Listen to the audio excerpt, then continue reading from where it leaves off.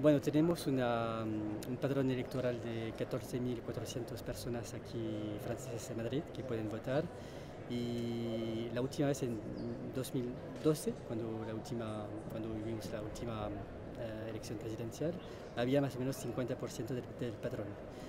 Hoy esperamos un poco más de eso, por lo que hemos visto en, otras, en otros países, en las Américas, donde votaron ayer, eh, esperamos un poco más que el, que el 50. Tal vez entre el 50 y el 60, no sé todavía, pero pienso que era, será, mucho, será un, poco, un poco más que 50.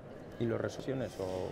Bueno, sí tuvimos uh, dos uh, preocupaciones uh, importantes para este comicio, este voto, que primero que cada uno que estaba en el padrón pueda votar, cada francés que tenía la capacidad de votar pueda, pudiera votar, uh -huh. y otra preocupación primera era la seguridad, seguridad de los votantes, de, los, de las mesas, así que tuvimos una cooperación muy buena de la Guardia Civil, eh, de, de, una sociedad de seguridad también que nos protege y una respuesta perfecta de las autoridades españolas aquí en Madrid, pero también en las regiones donde tenemos también listas. En total tenemos 27 listas, eh, 10 en Madrid y también en Valencia, Alicante, en Las Palmas, Tenerife, en otros lugares.